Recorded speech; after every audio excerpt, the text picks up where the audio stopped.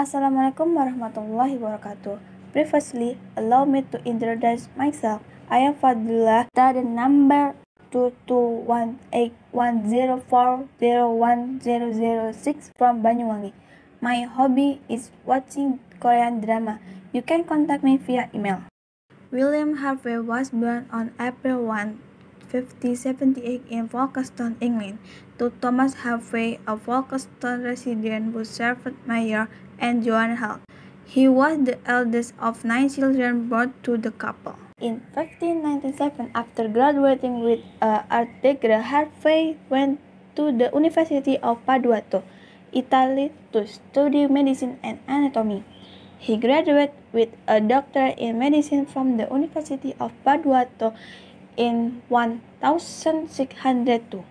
Harvey returned to England and received his doctorate in medicine from the University of Cambridge, then moved to London to work as a physician.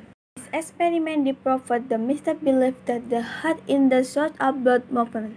He saw the word that the heart formed the center of the circulatory system through which arteries and veins carry blood the body and brains. He also established the fact that regular contraction of the heart pumps blood throughout the body. Thank you for watching my video.